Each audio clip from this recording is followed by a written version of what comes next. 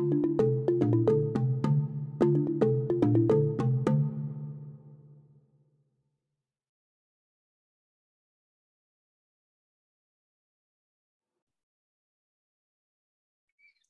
right. Hi, everyone. Thank you for joining us. I'm Jen Schonger from the New Jersey Autism Center of Excellence, the NJACE, which is funded in part by the New Jersey Governor's Council and the New Jersey Department of Health.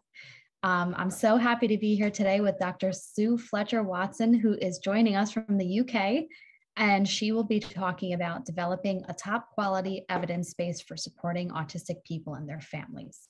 Um, before I introduce her in full, um, I just wanted to remind everyone that uh, we do now offer certificates of attendance. So if you need one, um, we'll, we'll put the link um, in the chat before the end of the webinar. Um, you can also find those um, on our Facebook page and we'll link it with the YouTube link as well. Um, you will need to be logged into your YouTube account in order to comment or ask a question. We love hearing about you, so please tell us about yourself if you're open to it. Um, as the uh, as the presentation gets on and we get to the end, we'd also love to hear your thoughts on um, the type of research that would be important for you in the community.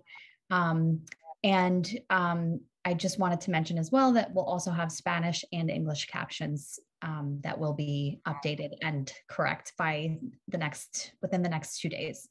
Um, so with that said, I would love to introduce Dr. Sue Fletcher, Sue Fletcher Watson, who is a professor of developmental psychology at the University of Edinburgh and director of the Salvesen Mindroom Research Center.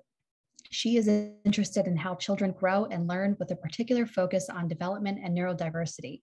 Her work draws on rigorous methods from psychology and applies these questions applies these to questions with clinical, educational, and societal impact. She strives to achieve meaningful partnerships with community representatives and to support neurodivergent leadership and research.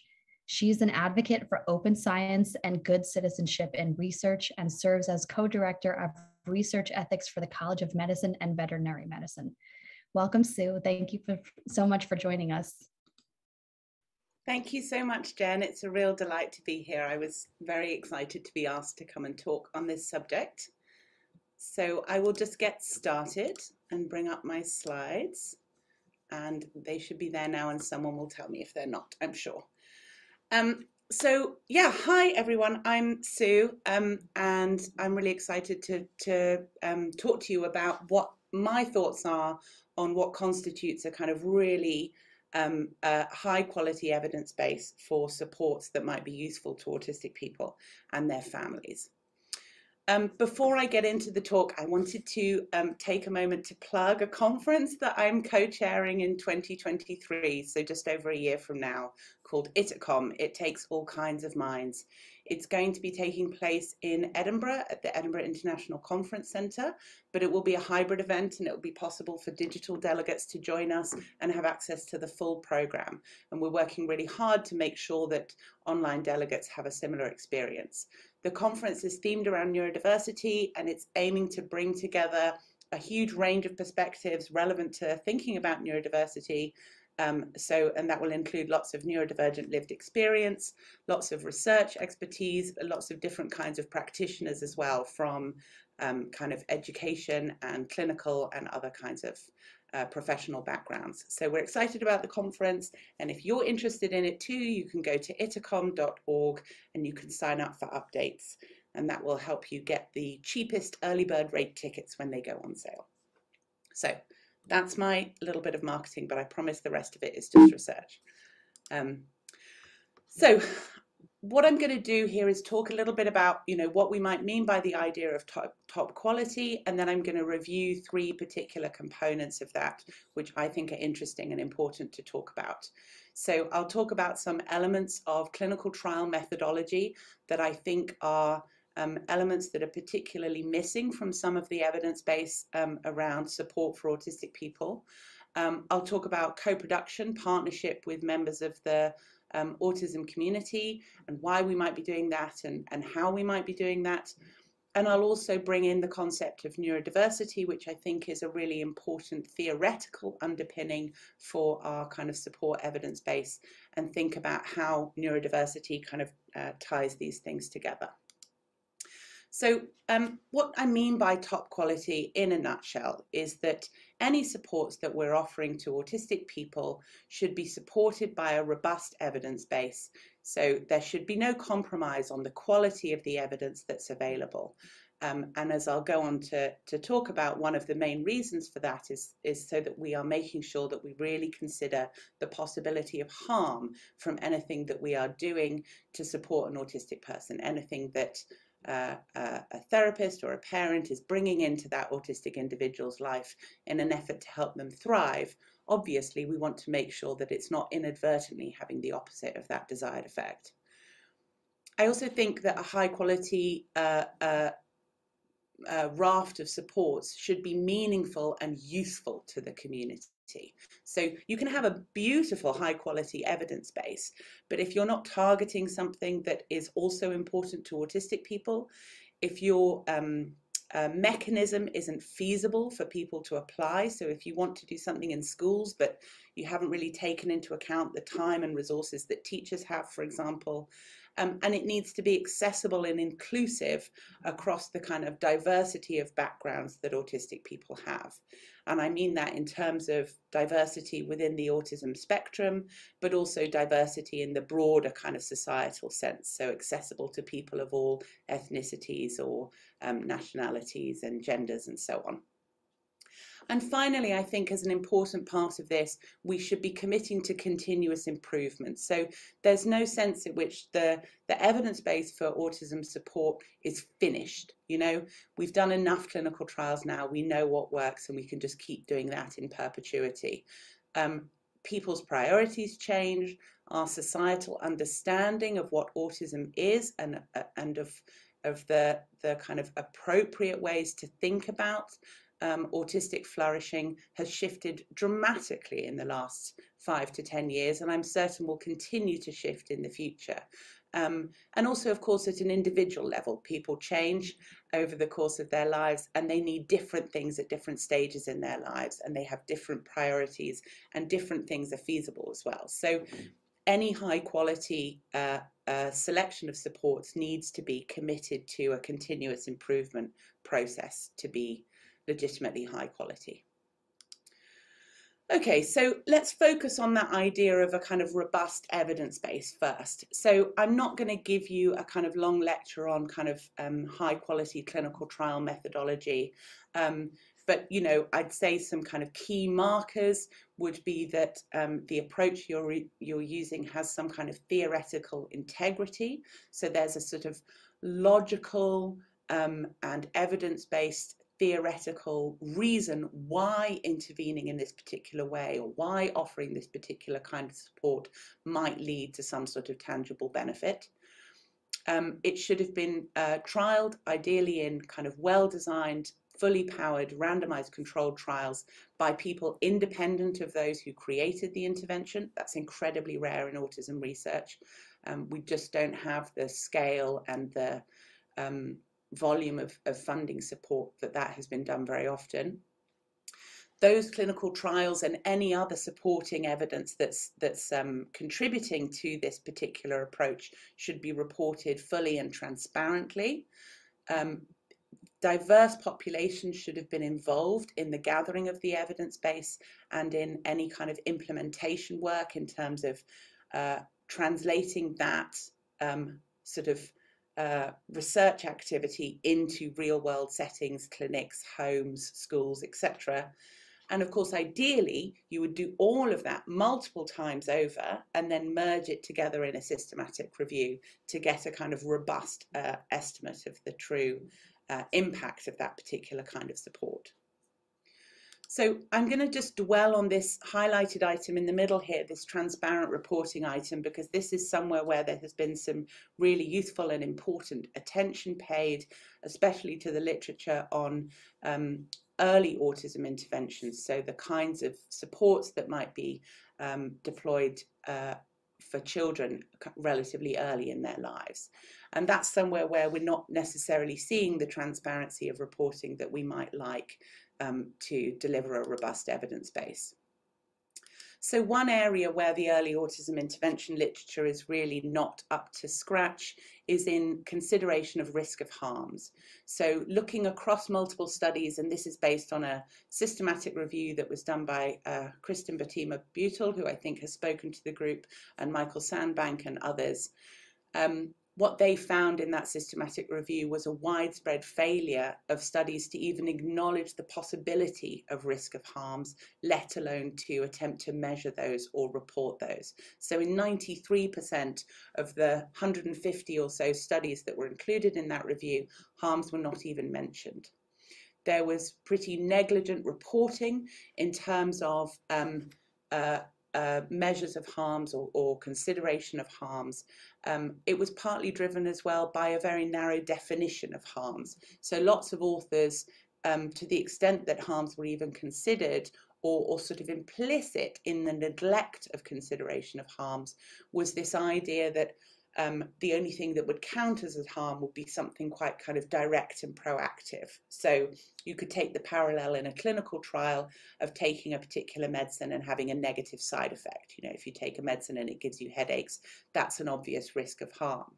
But there are other kinds of harms that might be more applicable to the kind of psychobehavioral interventions that are very common in the early autism intervention literature. Things like harmful displacement, time that you're spending on a particular uh, intervention activity, sometimes many, many hours a week, uh, money that you're spending on that intervention that could otherwise have been invested in other activities.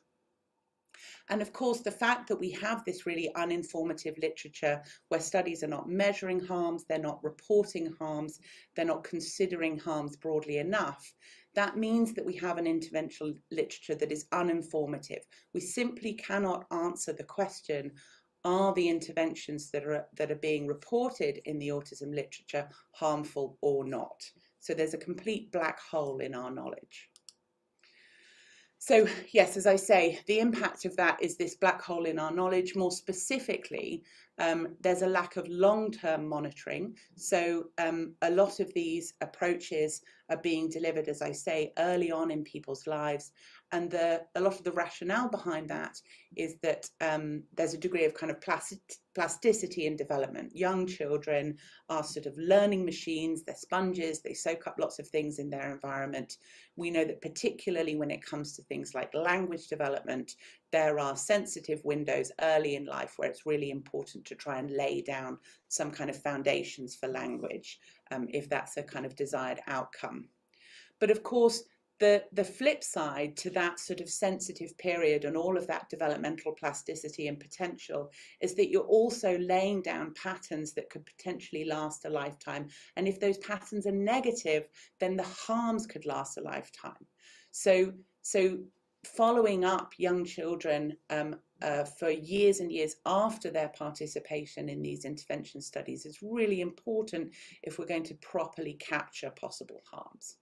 Um, so uh, examples of the kind of harms that we might see would be, um, uh, for example, encouraging autistic children to um, respond to the kind of commands and instructions of others. That can lay down behavioral patterns which are going to impact on autonomy and independence later in life in terms of autistic people being decision makers and in control of their own kind of destinies um, and of course, that could make them vulnerable to exploitation and abuse as well. So if you're working with someone very, very young and teaching them that their role in life is to listen to the instructions of others and comply with those, that's going to potentially have significant harmful effects. More immediately, I think there's concern, and, and this is something that Michelle Dawson um, and I have written about, but particularly um, this is kind of Michelle's take on things, and I really love it. This idea that you know there's a risk that by diverting the developmental trajectory of autistic children, we are causing a loss of engagement with their own autistic interests, with their own adaptive behaviours, their own um, self-generated approaches to managing the world, and of course their strengths and talents as well. And so that's a really important risk of harm that at the moment is not being measured or captured at all. And of course, more broadly, the fact that we have a body of literature that is utterly disregarding even the possibility of harm being caused to autistic children um, is part of a broader narrative that can feed into the dehumanization of autistic people and that can underlie abusive practices. So it's part of a sort of it's not it's not necessarily that there's a direct link from a particular study to a particular abusive practice. It's more that it's part of a culture where autistic rights and autistic humanity is not being recognized adequately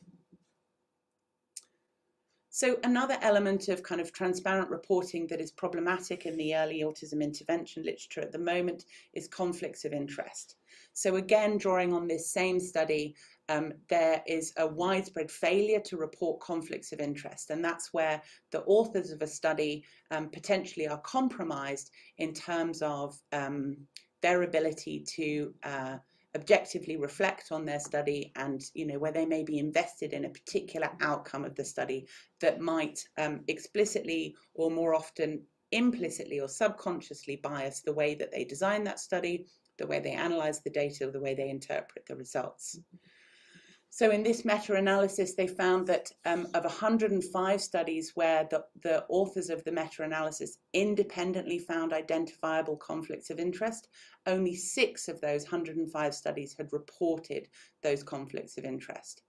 48 of those 105 studies, in fact, didn't just fail to report all the relevant conflicts of interest, they expressly said that there were no conflicts of interest applicable. And again, this is partly based on a narrow definition of what constitutes a conflict of interest, similar to my description of the problem around risk of harms. So of course, lack of reporting of conflict of interest drives low standards in clinical autism research and makes it extremely hard to get an unbiased understanding of the evidence base because we can't really determine the extent to which um, effective interventions that are reported in the literature are driven by um, a, a, kind of biased practice, including, of course, subconscious bias. I'm not accusing people of fraudulent behaviour, um, but we're we're not we're not um, managing out the possibility of that implicit bias.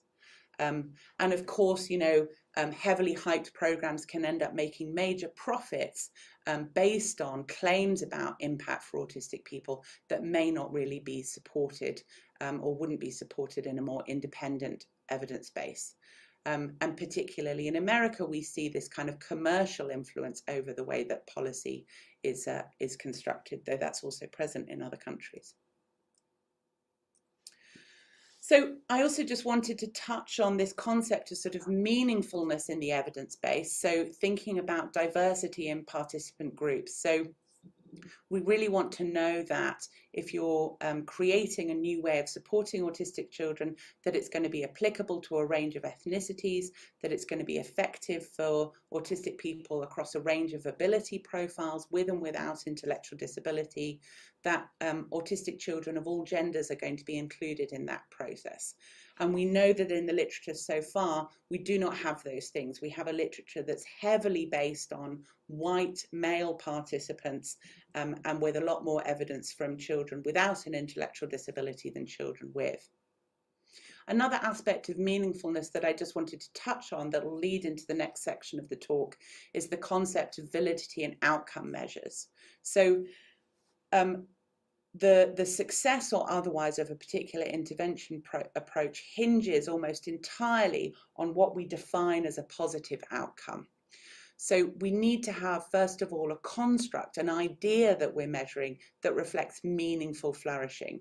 And for me, that means moving away from measures based on um, diagnostic features of autism, right? The, the, the, the concept of meaningful flourishing in, for an autistic person is not become less autistic, become more like a neurotypical person, right?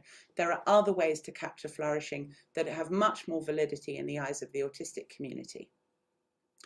But we also need to make sure that those measures are not just capturing a relevant construct and have validity for autistic people, but also that they're sensitive to change. So this is another problem with using diagnostic tools like the ADOS, the Autism Diagnostic Observation Schedule, to measure outcome from clinical trials those tools were never designed to be sensitive to change, to capture shifts in profile over time. They're designed to be diagnostic. They focus on what are the defining characteristics that separate autistic and non-autistic people so that I can make an accurate diagnosis. Utterly different from what are the things that might help this young person flourish and what are the things that we might expect to change over time if we were if we were aiming to kind of support that flourishing. And of course, we need outcome measures that are resistant to bias. So in the, in the context of a literature that I've just described, where we're not measuring risk of harms, where we're not reporting conflicts of interests, um, we really need measures that are going to be um, as independent and unbiased as possible, as objective as possible. So that means not scored by researchers um, who, who know the, the status of the participants in the study, um, not reported by parents who are invested in, in wanting to see positive outcomes for their, for their children. And there is a real lack of, of those kinds of measures. Okay, so that's my kind of uh, rant about trial methodologies for you. And as I say, there's a lot more to designing a really high quality clinical trial and also to getting to that point of being able to run a clinical trial. But these are some areas where I think the autism intervention literature is really kind of falling down and we need to collectively work to raise our game. I now wanted to talk a bit about co-production or participatory methods. So starting off with sort of why I think this is an important component of a high quality evidence base. So why does working with autistic people, working with their families, um, their siblings, their carers and so on, why is that something that I think we should be doing that's relevant to a quality evidence base? So I think the first position is that there's a, a powerful moral principle at stake here. Um, I think that uh, autistic people, like many other communities, um, have been marginalised historically. They're underrepresented in our research leadership, in our practitioner leadership. Um, and so that means that they are not part of the agenda that is shaping so much of their lives, that's determining policy and practice in our schools and in our clinics and so on. Um, the other thing is that um, these are communities that where the majority of people are not going to be experts. So of course there's an increasing number of autistic people in academia, um, autistic practitioners. There's a wonderful autistic doctors network in the UK now with over 300 members. They're completely fantastic. Um, so of course there are autistic people in these professions, but they will always, I think, by definition, be in a minority because autistic people are in a minority more generally in our population. And of course, most autistic people are not going to become doctors or professors because most people generally don't become doctors or professors, right? So there's a particular uh, requirement to make sure that when we're working with community representatives, we're working not just with our autistic colleagues in the workplace, but also with autistic people who are outside of that environment of course, a lack of engagement with priorities has driven some of the kind of historic abuses and vulnerabilities that are experienced by the autistic community. And I've put historic in brackets here because um, uh, sadly, those abuses are still happening today in many parts of the world. Um, sadly, regularly in the UK, we uncover uh, stories of a, of a kind of care home, a residential care setting where autistic people are living and supposedly being looked after by professionals. And, um, and it is uncovered that, that there are abuses taking place in those settings. And that's not historical, that's, that's a modern day fact and, and one that um, is distressingly frequent. I think another reason, a more optimistic and cheerful reason to be engaging with members of the autistic community at the moment is just the demand and the opportunity. There is a huge and growing body of autistic people, as I say, within but also outside academia, who are crying out to play a role in shaping their own destinies or, or the destinies of the generations who come after them in terms of um, uh, identifying what research gets done and how that feeds into policy and practice for the future. I also think there are loads of practical advantages to doing participatory working. Um, it's it's it's a really great way of working. So if you particularly want to reach so-called hard to reach populations, so we could use that phrase to describe autistic people in general, but especially if you want to work uh, with uh, autistic people of minority ethnicity or non-speaking autistic people or autistic people with a diagnosis of bipolar disorder or whatever is the kind of uh, particular population that you are interested in, in working with, if you are partnered with representatives from that group, that's going to open a huge number of doors in terms of your recruitment process, but also in terms of the, the authenticity and the quality of the work. And so I also think that working with autistic people can can can be very effective in terms of minimizing research risks, meeting your recruitment targets, capturing high quality data, um, you know, participants completing all of the questions in your survey and not giving up halfway through because they can't bear to fill out another AQ for the billionth time this year or whatever it might be. Um, of course, a lot of what we're trying to do research, in research, especially in clinical research, is produce findings that can be translated and implemented in practice, right? We want to see the results of our work being used in hospitals and, and doctors' surgeries and schools and so on. And we all know that there's a big translational gap and it can be very, very difficult to, from the point of sort of publishing a research finding to get that out into the world and being used on the ground if you're working with the potential users of that research from the very beginning, so that's going to include autistic people, but also perhaps teachers or GPs or parents or speech and language therapists, then that's going to make it much more straightforward to bridge that translational gap because you've had those users in mind from the very first principles of the study. And of course, finally, increasingly, uh, funders require this kind of uh, engagement. Often in the UK, it's called PPI, public and patient involvement, um, as part of their expectations when you're seeking grant funding.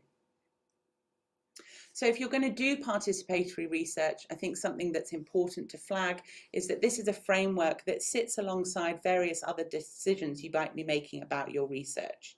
So I come from psychology as an academic discipline. That's going to define a lot of what I do. Um, I might be designing a study that's going to do interviews with people or an online survey, or I might be doing a clinical trial or some eye tracking. Um, and maybe I'm planning to have a project blog where we update people uh, every now and again about the progress of the project. It's very easy to think that particularly if you're doing qualitative data collection and you've got lots of public engagement work planned as part of your project, that means you're doing participatory working.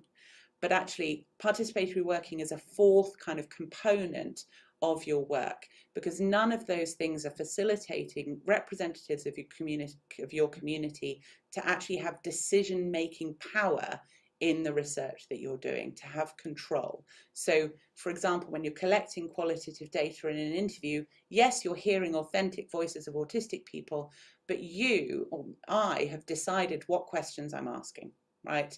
And so I've got all the control and power in that situation. And that's not a fully participatory approach just because it's qualitative.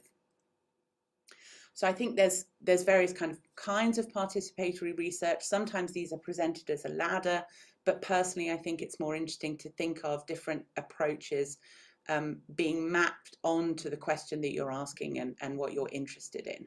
So um, consultation uh, on the left-hand side here, this is where the research team, um, I'm presuming a neurotypical research team, of course that would not always be the case, but your, your research team have most of the power and they're just inviting community members in to provide specific advice at particular points in the project, right? So you might ask some people to help you design your consent forms to make them accessible. And that flows through to the kind of opposite extreme on the right, where most of the control and power is in the hands of community representatives. And so it's really kind of the tables have turned. This is a project that's being led by autistic people in the community. And you, as a researcher, might be brought in as an employee or a consultant to do a specific component of that project. And then there's everything in between, uh, different levels of kind of balance and shared power, essentially, uh, between those two extremes. So when you're doing participatory research, you know, it's really important to do it in a thoughtful and measured way, just as you would put thought and care into any other part of your research methodology. Um, so it's hard to do well. Um, it takes time and money, and um, and very often at the end of the project, you will regret some things that you did and wish you had done them better. So in that sense, it's like all other research. Um, so you're going to want to think about who you want to include.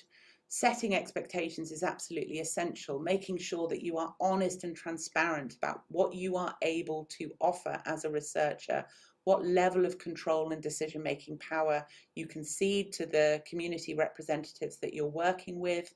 Um, and making sure that the, the limitations inherent in the way that you've been funded or the timeline of your research or your career stage, whether you're a PhD student or a, a tenured professor, um, being really, really clear about those things. So it can be tempting to go into this and sort of try and promise the moon on a stick, but actually, of course, that's not going to lead to a trusting relationship for you and your partners. You're going to want to think about specific measures to engage the particular members of the community that you want to work with. So often for autistic people, that will be thinking about the sensory environment that you're working in, the communication methods that you're using, but different measures will apply to different people. If you're working with teachers, you have to understand the working day of teachers, the rhythm of the school term and the holidays, and make sure that your participatory work is cognizant of that and structured around that you're going to want to think about intersectionality. People are bringing more than just one identity to the table, right? So um, think about uh, the the opportunities that come from engaging with uh, community representatives who bring different kinds of lived experience to the table, not just their diagnostic status or the fact that they're a parent of an autistic child, perhaps. Throughout the process, you want to think about empowerment. How much power can you give to the community representatives? What is the implicit balance of power in any particular environment? So if you're hosting meetings in a university, for example, that's somewhere where I feel comfortable. That's where I work every day. I know how to navigate the buildings. I'm not intimidated by the oil paintings of old men up on the wall. But for someone coming into that environment who's not there every day, that could be a very disempowering environment. And it might be better to meet in a coffee shop or a community centre or to visit them at home, for example. And throughout that process, you want to be creating a culture of knowledge exchange. So the knowledge is flowing in both directions. I'm offering, I hope, the community partners that I work with insights into the research process, into theory, into how research is translated into policy and practice.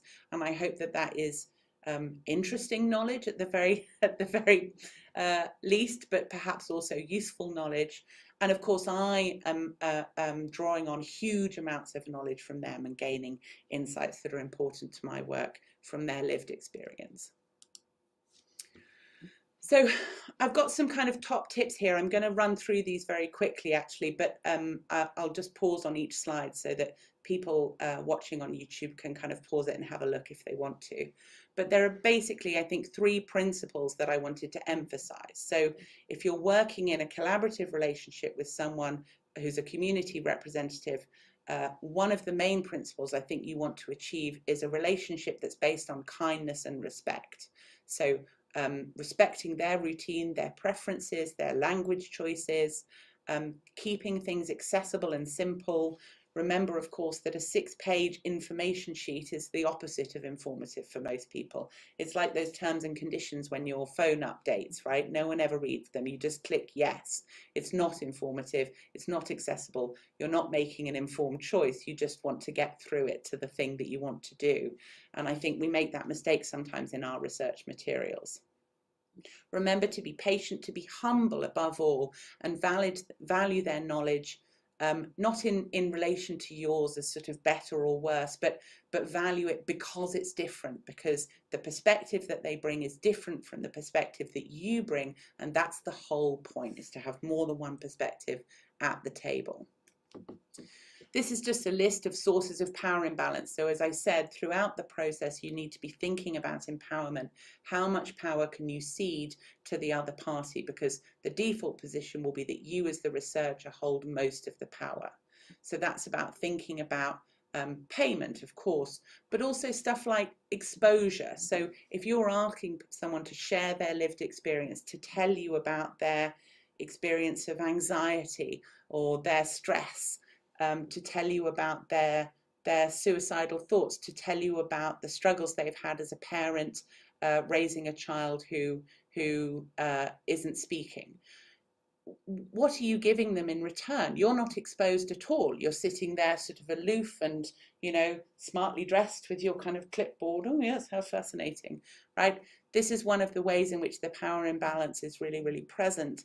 I think it's really important to be prepared to share something of yourself if you're asking people to share something of themselves. Um, Okay, and then the third principle I think here is kind of trust and transparency. So I've mentioned this a bit already. Honesty about what you're able to achieve together and not over promising is absolutely essential. Um, you want to think about as well um, committing to action. So make sure that if you're inviting someone into the research space um, and asking them to help shape and influence what you're doing, you're actually going to be able to respond to that uh, that input and make adjustments based on it, right? So it can't be a tick box exercise where you say, I've made a plan and I would like uh, some autistic folk or some parents of autistic children or some teachers to come and tell me that my plan is great, right? that's no good. You have to be really wide open to the possibility that they'll come in and tell you your plan is terrible, and you have to have a really clear understanding of what you are able or not able to change and be honest about that.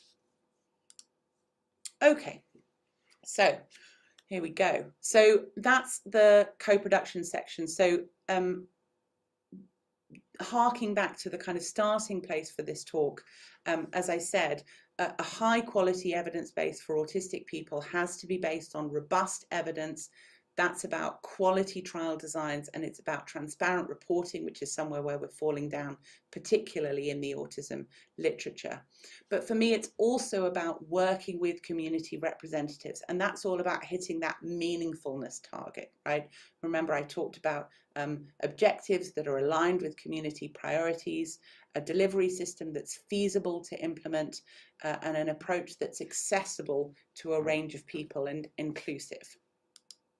So um, I now wanted to give you a few examples of what this looks like in practice before going on to talk about how this fits in with neurodiversity, which is a really interesting new sort of theoretical paradigm for underpinning this kind of research. So I'm just going to give you, I think, five examples, one from each of those participatory methods that I had up on the screen earlier.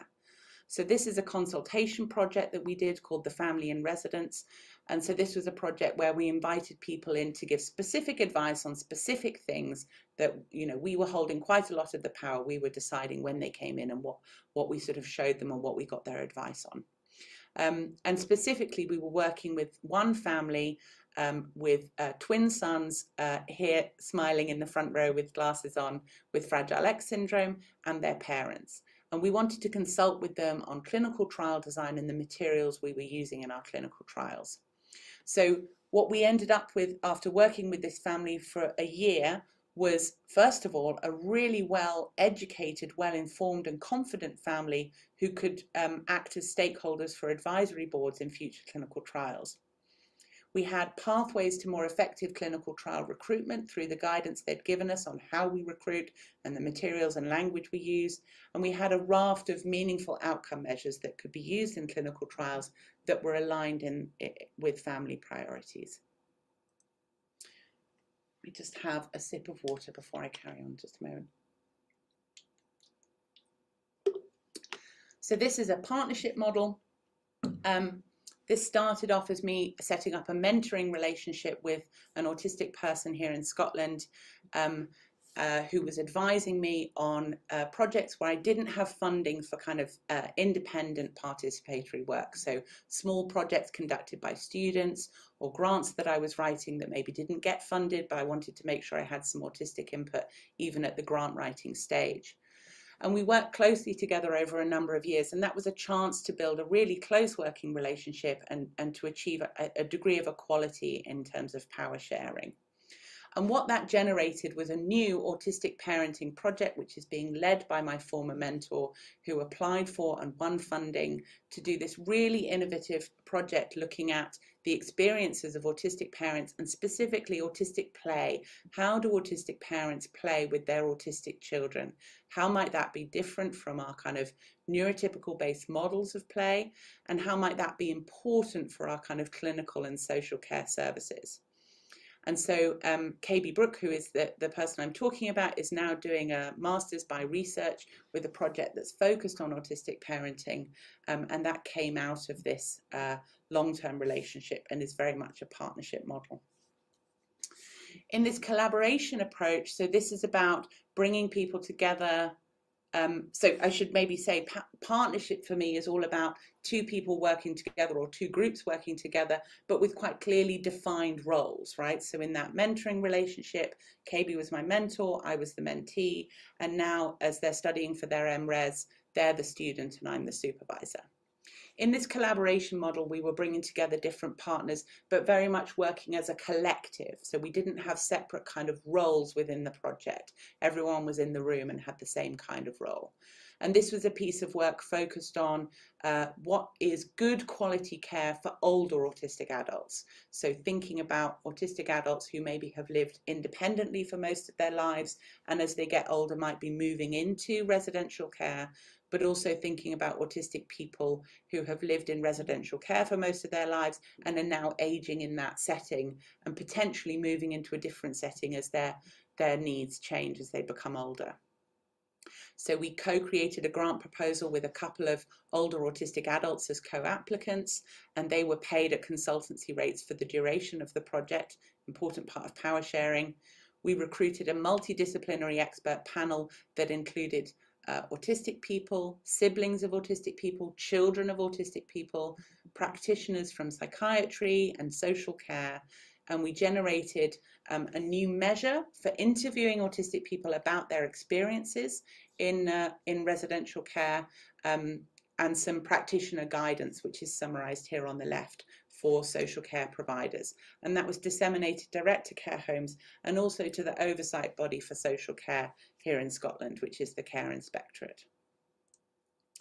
This is this is a this is a citizen science project. Um, so this is now tipping the balance more towards power being in the hands of the community. This is a project that was generated by a group here in Edinburgh called AMAZE, the Autistic Mutual Aid Society Edinburgh. They're brilliant. They did a survey on mental health um, and they got their data back. And I think it was when they were wrangling their data, they thought, gosh, you know, this is a lot of data and there's a lot to report. And it was a bit difficult to refine it down.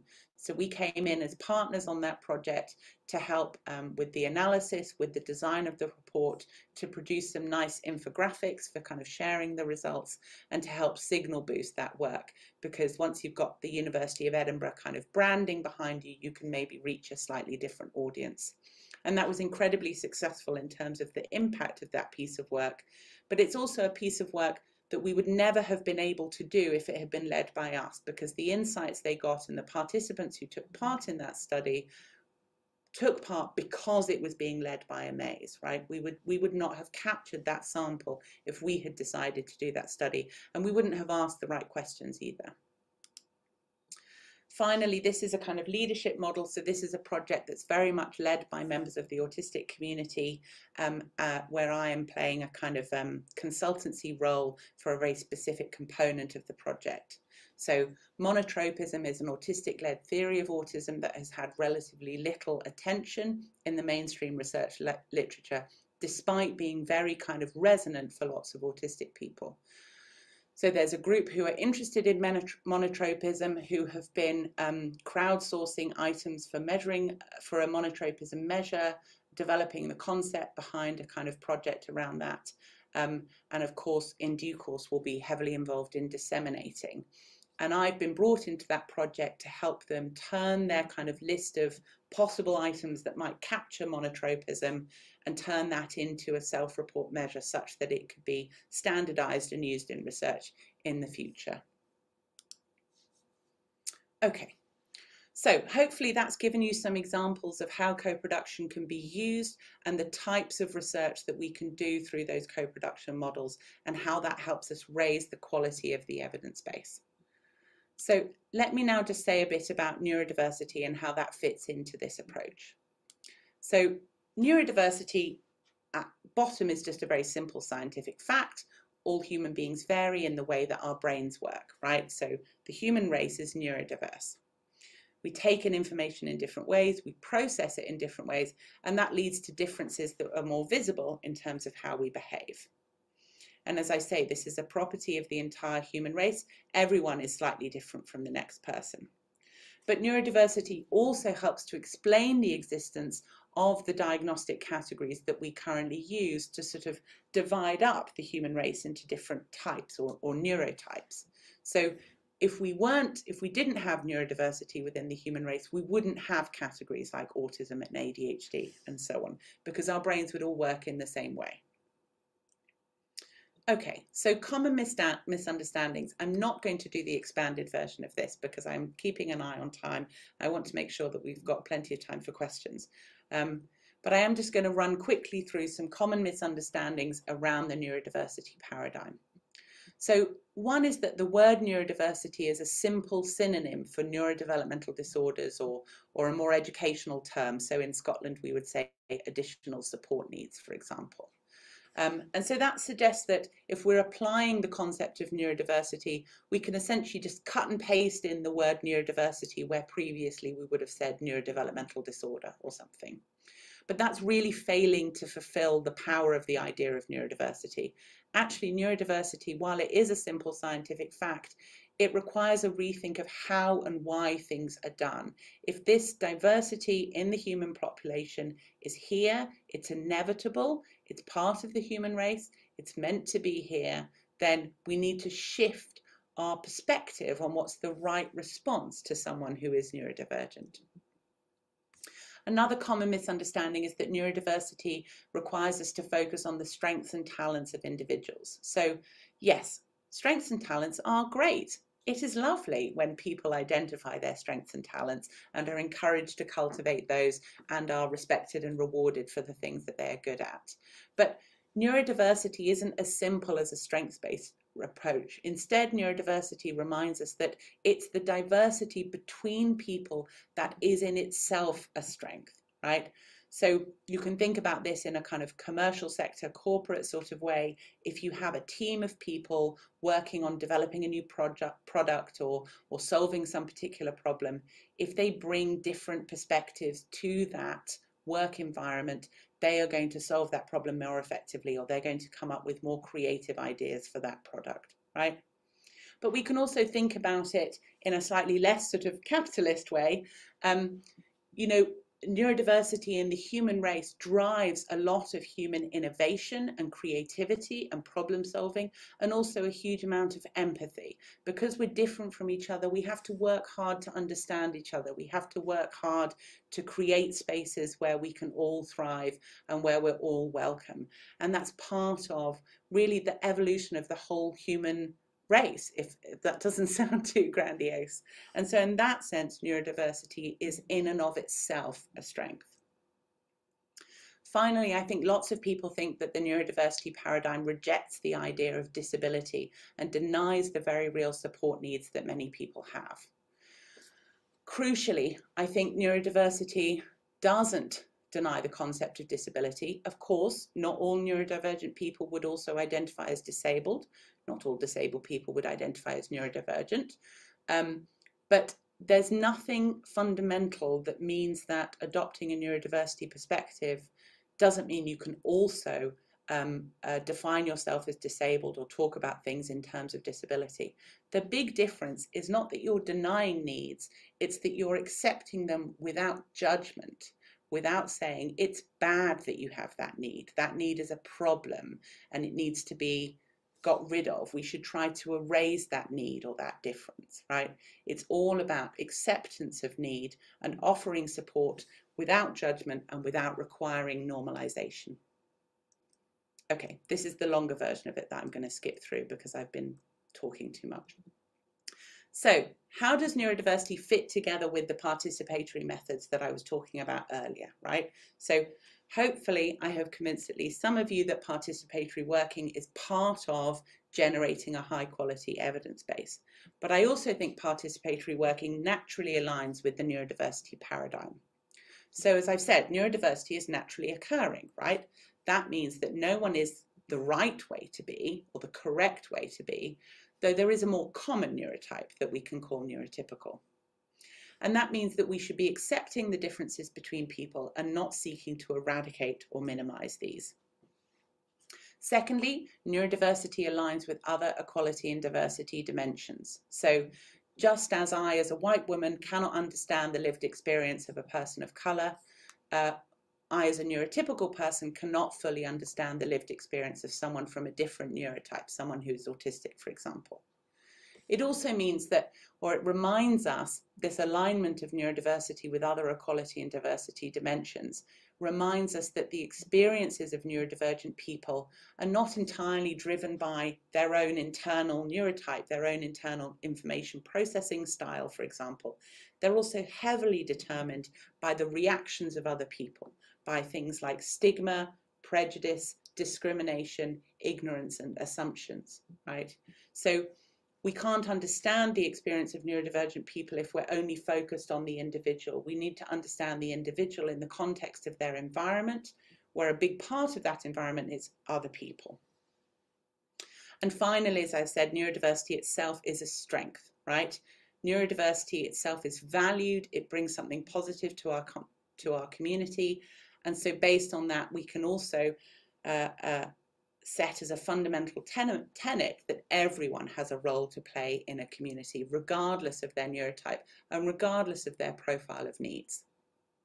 So participatory research for me, working with autistic people or um, other members of relevant communities outside academia, is a way to show my acceptance of that way of being and my understanding of the, of the validity of that neurotype. Participatory research is a way to capture that experience that is such an important part of what it means to be neurodivergent, what it means to be autistic, for example. And participatory research, bringing people together who have different perspectives, different lived experience, is a way to bring the benefit of that diversity into the research process. So I'm going to give you a couple of examples of what I think neurodiversity informed research can look like briefly before I wrap up. I hope this is okay, Jen.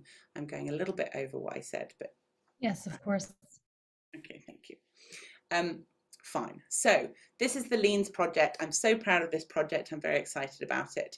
What we're doing in this project is trying to teach children in primary school what neurodiversity is. So the idea behind this is to try and address some of the educational inequalities that are experienced by neurodivergent kids in school. We know that they're more likely to be excluded from school. We know that they participate less in class. We know that they're more likely to be bullied and victimized by other children at the school. We know that there are negative mental health consequences of all of these things. And we need to address that stuff. And we think that one way of addressing it is to shift the attitudes and actions of all the other kids in the class, help them understand what it means to be neurodivergent and the role that they play in shaping the experience of their neurodivergent peers. So what we did was co-design a resource pack to introduce the idea of neurodiversity in mainstream primary, primary schools. The pack is delivered by a teacher to the whole class. It was co-developed by a neurodiverse team of researchers and experienced educators. And the goal was to inform pupils and teachers about the concept of neurodiversity and increase the positive and inclusive actions and attitudes of people in that class. So um, actually this latest news has moved on even a little bit. We've just finished the evaluation in four schools across Scotland. We have conducted some interviews with neurodivergent pupils, though we haven't analysed them yet, and we're looking for funding to extend the work. But I can tell you uh, that the approach worked. So we're very excited about that. I won't say any more because uh, it's not my data to share. I should mention that this is a project that's being led by my colleague Alyssa Alcorn, who is superb, and you should watch out for her for more updates on LEANS.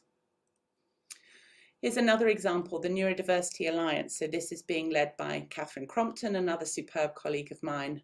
Um, so this is a, a, more of a peer support model. Historically, peer support for neurodivergent young people has focused on kind of buddy schemes where, say, an autistic young person might be paired with a neurotypical young person who's supposed to kind of show them the ropes, right? Um, and often there's an implicit kind of normalization agenda built into that. Instead, what we're looking to do in this Neurodiversity Alliance project is bring neurodivergent pupils together to facilitate a more positive outlook on that identity, a sense of belonging at school, and also to foster self-advocacy skills. And this is based on some qualitative uh, uh, foundational work that we did with neurodivergent people. So the new model is going to be trialled in three schools and co-designed, and it's partly inspired by existing provision for LGBTQ plus youth. So um, models of uh, peer support networks in schools for queer young people to come together and share experiences. We hope that this approach will have a positive impact on young people's educational engagement, their sense of inclusion and their well-being. Okay, so just returning to where I started. Um, Good quality support for autistic people rests on a high quality evidence base. At the moment, I think in autism research, we are not doing that as well as we might. And in particular, I focused on transparency of reporting as somewhere where we could really make some major improvements. I also think a good quality evidence base needs to be meaningful and useful to the community. And I've talked at length about how I think participatory methods can contribute to that. Mm-hmm. And the last part of it is a commitment to continuous improvement. And the adoption of a neurodiversity paradigm, I think, is a nice example of that, of the constantly evolving discourse and understanding of what it means to be autistic, of what it means to be neurodivergent, and how that should continue to shape the approaches that we develop. And I've given you a couple of examples of, of brand new approaches that are based on that, that foundation. I also just wanted to say that, you know, in terms of continuous improvement, obviously continuous improvement also means continuous engagement, right? Engaging with people all the time, iteratively, over and over again in cycles and adopting those kind of core principles, uh, kindness and respect, sharing power and trust and transparency. So this is something that we try to do um, as well as we can at the Salvesen Mindroom Research Centre. These are just some examples of ways that we try to make sure that we have a kind of open back and forth dialogue. So we, we developed a podcast called Psychological. We published policy briefings summarising our research. Um, we uh, we have developed an app to support parents through the diagnostic process. So we're trying all the time to make sure that our work is filtering out into the community and that that's done in an open, uh, conversational way. And we're hearing back from people um, whether they think what we've been doing is useful and how we can do better in the future. Right, this is my last slide. I will now draw to a close, but just to kind of finish off, I think the ideal result at, at, the end of a process of really high quality evidence gathering around uh, support for autistic people is that you have a group of people who feel empowered and happy about the research that they've been a part of, that you've developed a, a piece of research, a discovery or an approach that people want and can use, and that you have a group of community collaborators who have been increased in terms of their skills and their um, uh, the amount that, that they are informed as a result of partnering with you. But that doesn't mean that you haven't also based what you're doing on a kind of solid and robust theoretical model, high quality methods, that you're not producing high quality evidence-based supports and research. It's not an either or choice that you can either do great research or engage with the autistic community. The, the two things are, are absolutely enmeshed. That is where I will finish. I have got some links up here for people who want to find out more, um, uh, including to the conference that I mentioned right at the beginning and our research website and my new blog that I haven't put many blog posts on yet, but there'll be some on there soon. And I will stop sharing at that point and hope that we can have some discussion. Thank you.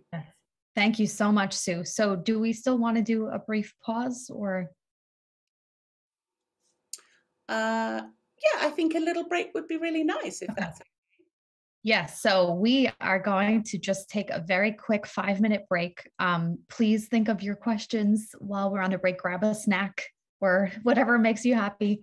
And we will be right back with, with more with Dr. Sue Fletcher, Fletcher Watson.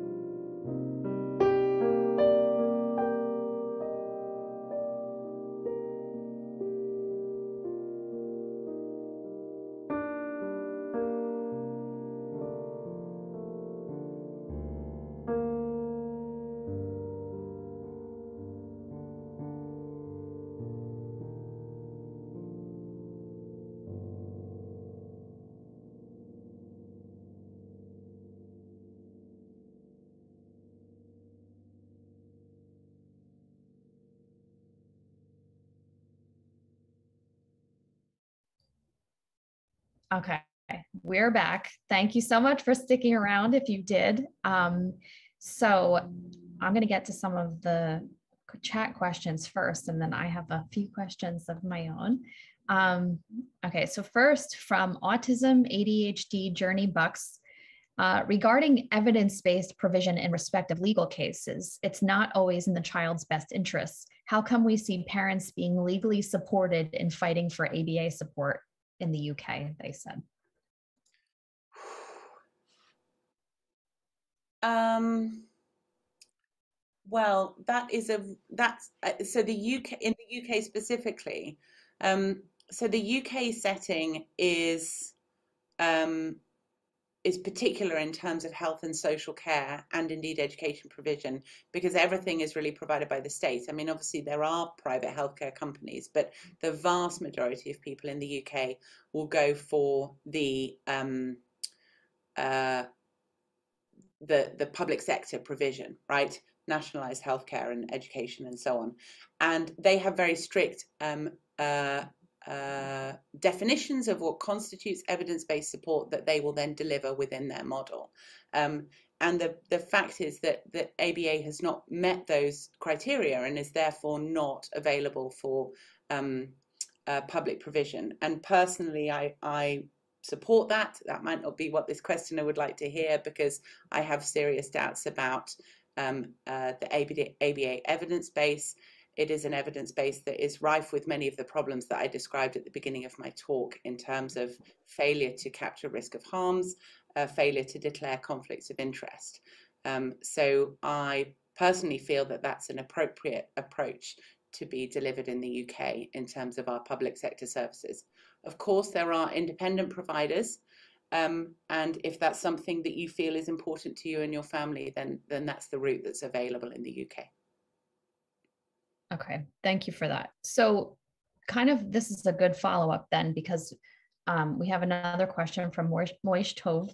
Um, and so um, what he was writing is that the evidence-based model in autism, um, I'm going to sort of paraphrase this, but he said it's a main cause that families have been in limbo and it's harmed autistic people as you know you were exploring quite uh, deeply in the beginning of this webinar. And, um, you know, he kind of was comparing it to like medical research, um, which targets, you know, like biological underpinnings. Um, and then, so I have a side note about that after this. But so one of the examples he gave is that ABA has, you know, been sold, especially here in America, that it's evidence-based and proven um, another example he said is that non-speakers have been considered to have intellectual disability, which we know that the lot most tools that are used are not really taking into account the motor and language differences and processing differences.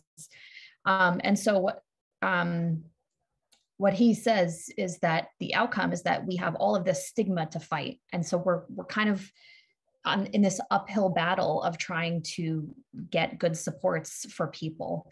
And then the term evidence based has almost been weaponized in a way to kind of shut down any sort of questioning or dissent or you know anything of the sort um, so one of the he says that uh, he had he had created this company um, for his two non-speaking sons and, and other non-speaking autistic people um, and he said that uh, like one of one of the solutions that they came up with was that instead of assuming no competence, they assume competence, and um, he calls it disruptive innovation. So I just wanted to thank him for that and see. Um, do you feel like do different countries really have a different standard of what evidence based is considered and like who's kind of like who's calling the shots on what is considered evidence based when it comes to autism so um, it's it's a really interesting question, and and I love the the broader comment as well. Um, and I agree with much of that analysis. I think that um, I think there's actually fairly consistent notion of what constitutes evidence base in clinical research. Um, uh, the issues come from a few things. So one is um, the fact that you know our models for capturing an evidence base almost entirely come out of drug trials, right? Mm-hmm. So um, uh, you know, a, a trial for um, a new stroke medication, for example. And there you have a very clear objective. You have a patient who was previously healthy, has now become sick. You would like them to be healthy again. Everyone agrees on that objective. No one wants to be sick. Um, no one wants to have, you know, cancer or whatever. And so there's a sort of straightforwardness about the objective, about how you measure that objective. Um, there's a straightforwardness about how you define who is in that clinical trial you know in terms of you know if you're doing a a trial of a new blood pressure medication you come in the trial if your blood pressure is too high right none of mm-hmm. those things apply to autism research and of course there's the additional complication of the fact that many of the most appropriate ways that we might think about supporting autistic people are about you know, behavior between individuals, communication support, environmental adjustments, and so on. It's not a pill. And so that means you can't have a placebo condition, right? You can't have a sugar pill that's given to the other half. So, so I think the standard of evidence is the same, but the difficulty comes that you know how many modifications or what types of modifications to your standard you are able or prepared to make to make it fit for purpose for the kinds of approaches that are relevant to autistic people, right? And the kinds of inclusion criteria that you might apply and so on. And that's where manipulations can creep in because as soon as you've said, which I think most people would agree with, you can't wholesale drop in the model that's used for cancer treatments, for example. You can't just take that model and be like, boom, we'll do that for autism as right. well. So as soon as everyone's agreed that, then you've got this kind of, ooh, so I can maybe shift it in this direction that helps me a little bit prove that my thing is most effective. And that's where things like conflict of interest are so important because with the best will in the world, if you have spent years designing something, you would like it to work, you know. Yeah. Um, I think another factor, another factor is that um, which I think is sort of related to this, maybe doesn't directly ask your, answer your question, but I'll say it anyway, is um, it's very sad to me that we have we, we have a very poor quality evidence base when it comes to kind of comprehensive support approaches for autistic people. Um, but um, that means for me that there's all the more reason with the limited resources that we have and the pressing need for a, very large number of autistic people to be better supported than they currently are, it's it's absolutely essential that we focus our resources on the approaches that are most likely to work. And, and by that I mean approaches that are meaningful to people and that are addressing targets that they care about.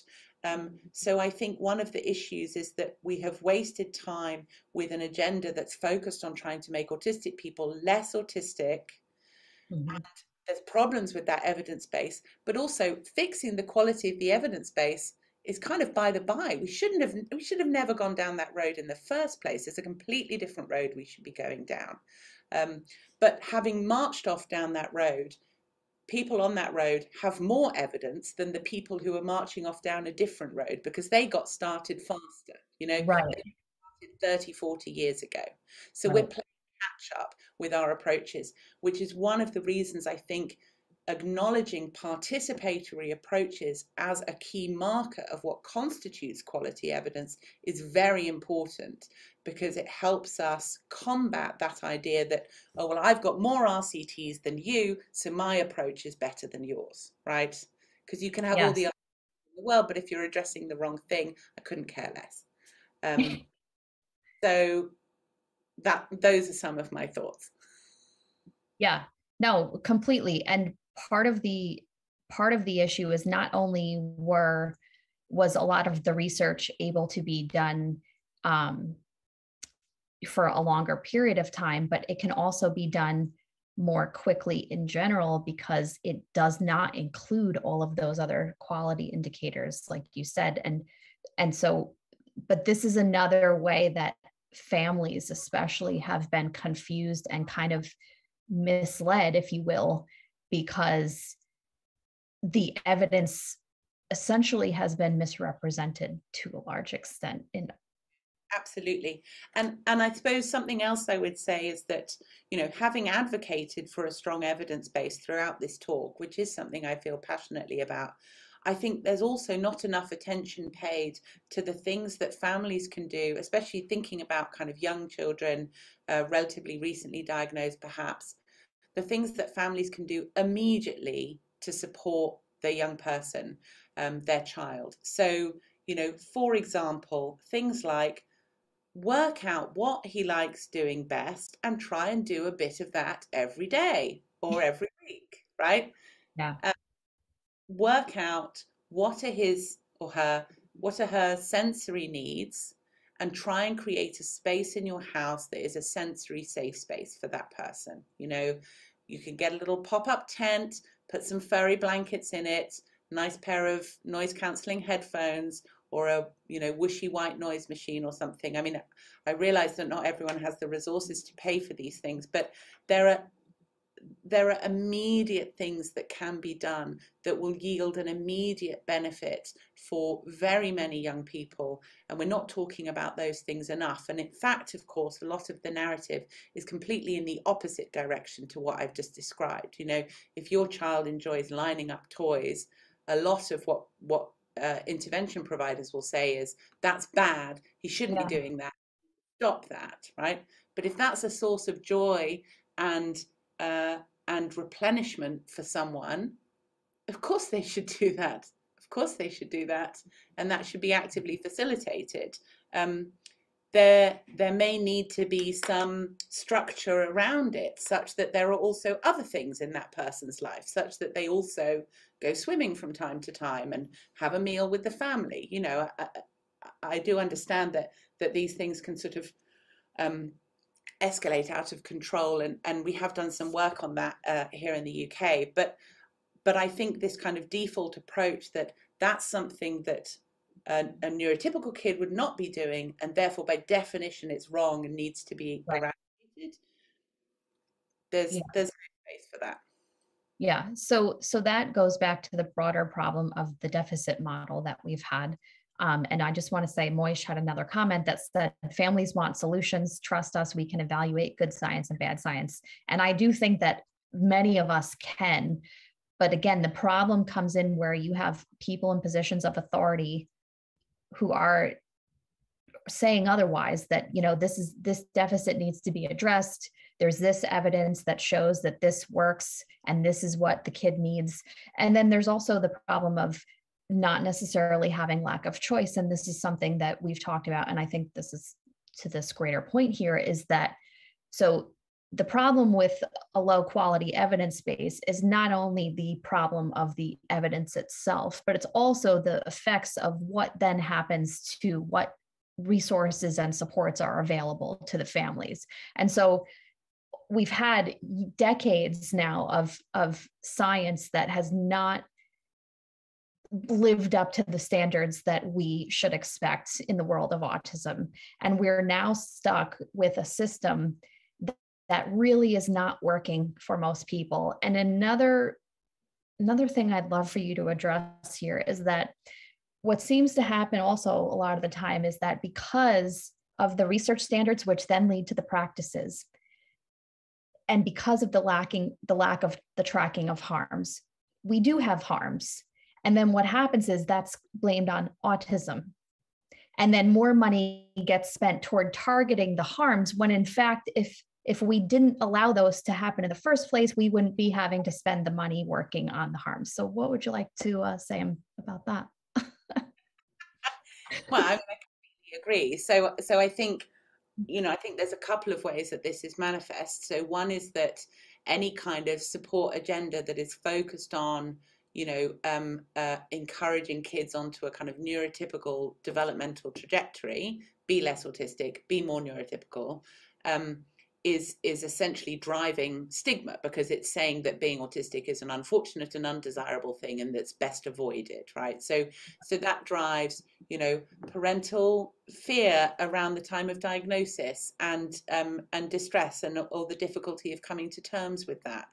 Um, and uh, it, it, drives you know kind of judgment from neighbors and friends and in the community and, and lack of acceptance and so on because you know the entire narrative is based on the idea that being autistic is a is an unfortunate thing what a tragedy for your family you know which is completely unacceptable to me um, nice. Before you go further, can you just address too, because one of the counter arguments that people hear is, we're not trying to make people less autistic. We just want to teach skills.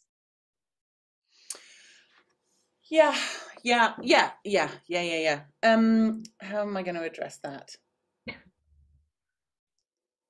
Okay, so so I think there's a couple of things.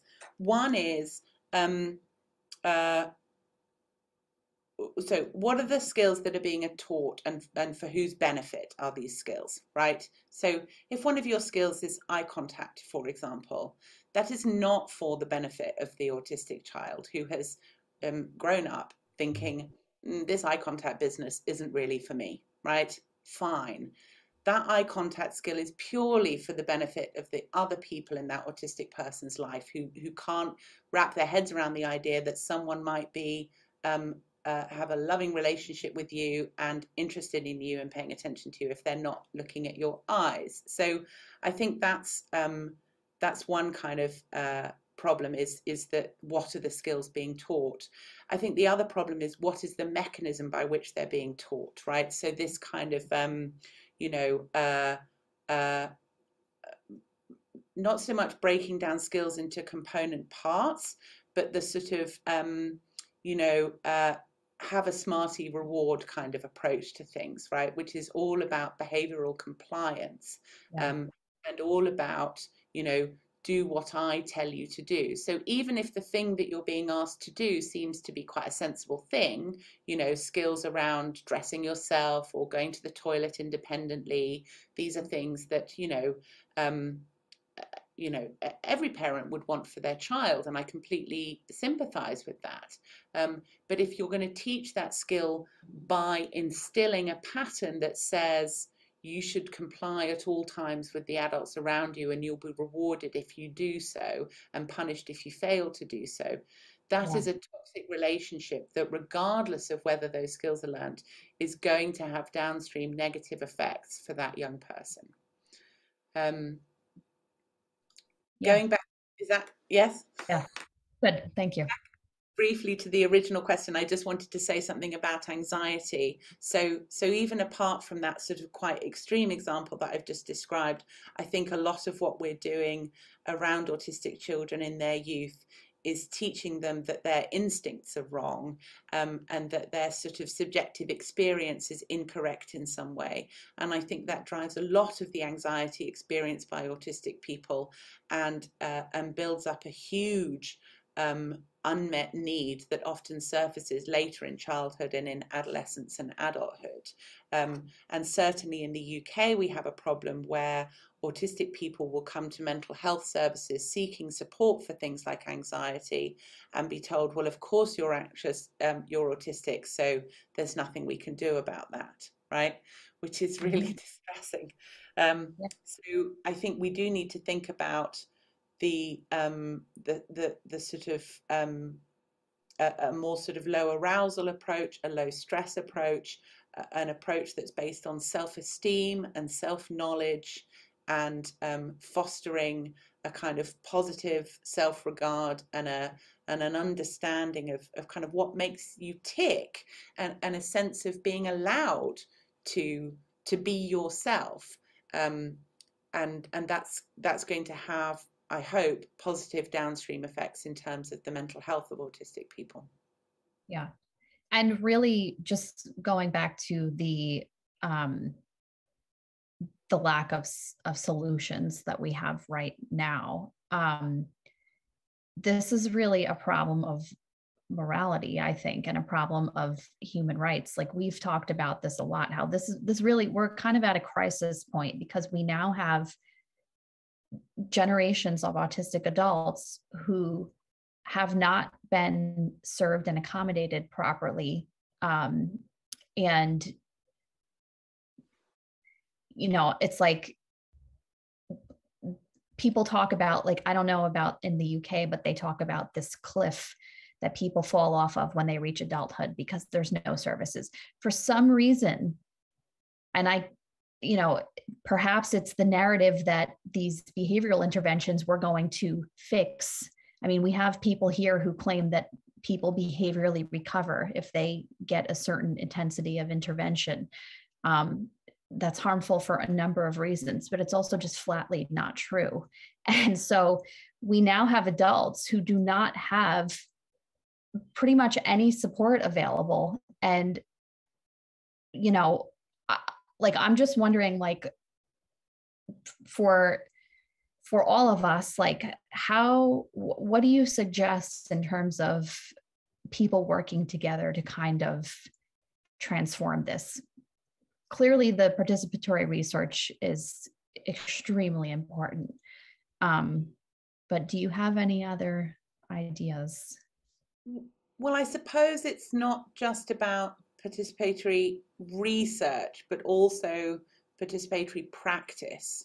So, um, thinking about working with um, uh, the kind of the real experts, the experts by experience in your area to develop practice in a more immediate way.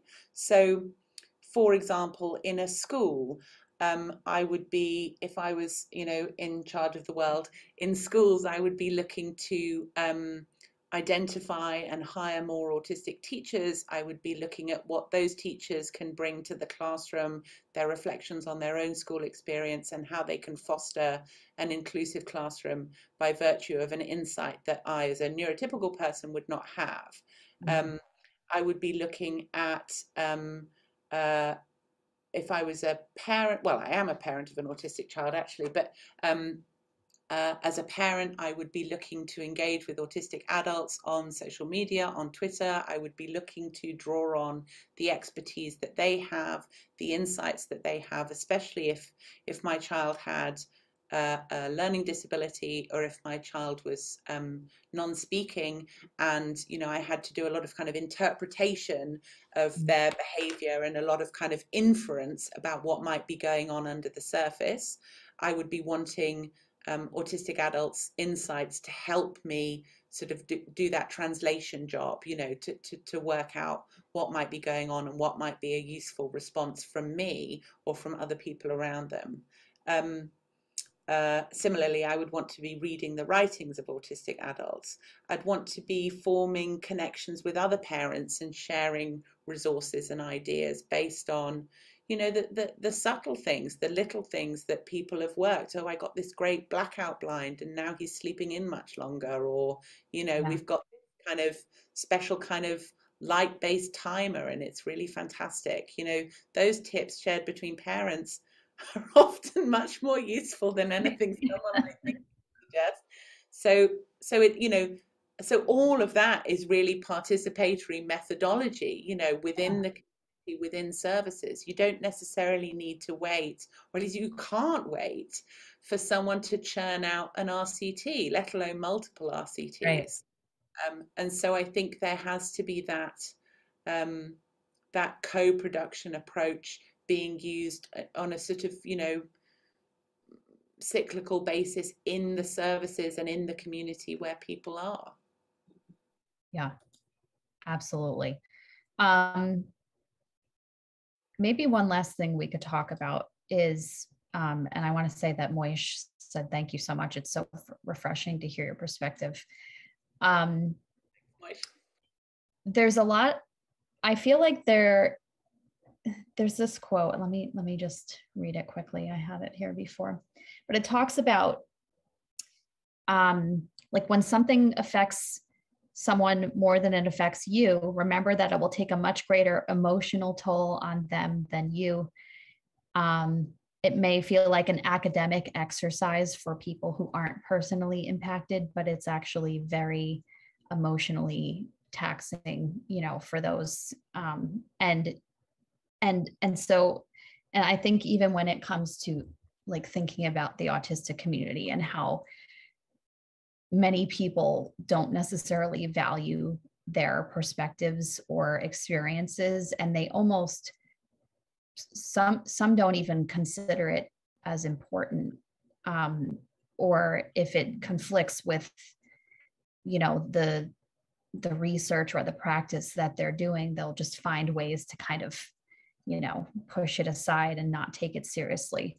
So as a researcher what would what would you say to other researchers and practitioners um, about why they should listen to the perspectives of the people who this is impacting, even when there may be challenges in doing so?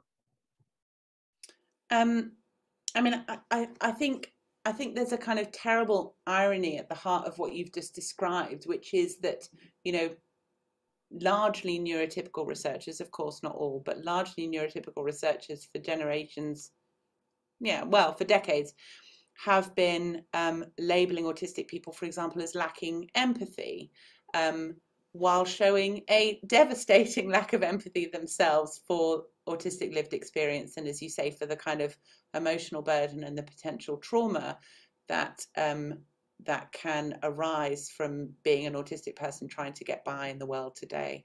Mm-hmm. Um, I think similarly, you know, we label autistic people as being rigid and inflexible, and yet we refuse to adapt what we're doing, our processes and our methods as researchers or our practices in a classroom or, or in a clinic setting.